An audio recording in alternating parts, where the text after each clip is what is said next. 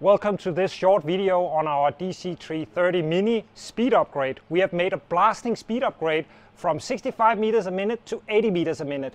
You can buy this as an option on the machine as new, but you can also upgrade your existing finishing equipment from us. Let's take it for a spin and I'll show you just how fast it is.